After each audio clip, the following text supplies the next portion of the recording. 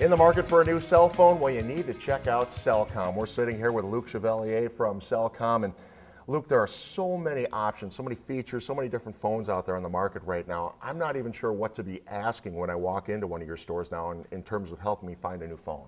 Yeah, there used to be very few decisions. It was, do I want a flip phone or a camera phone?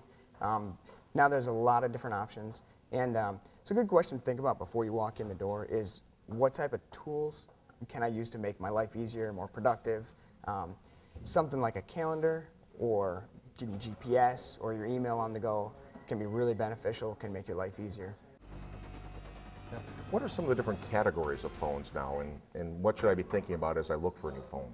Well, we have uh, the what we call advanced phones, um, or smartphones, what a lot of people call them, Blackberries, Android phones, Windows Mobile, and those will be able to do email, GPS, apps, full web, anything you want them to do, basically. Um, there's also an enhanced category, which will have touchscreens and a full web, but they don't, they don't do the apps and the email and the GPS. Um, and then there's also still the standard phones if you just want it for calling, you just want a flip phone, or if you just want a phone that can text and call. Look, I walk into the store and you have phones everywhere. I suppose that's helpful to a customer looking to, to try out one of these new phones. Yeah, absolutely. Um, there's a lot of good information that you can get online and doing research. But really what we recommend is come into a store, play with the phones, get a feel for them, talk to a sales rep, and we can help you find a phone that's right for you instead of just kind of plucking the ones that you like the pictures best online. What are some of the other tips I should be thinking about as I look for phones to meet my personal needs? Sure, yeah.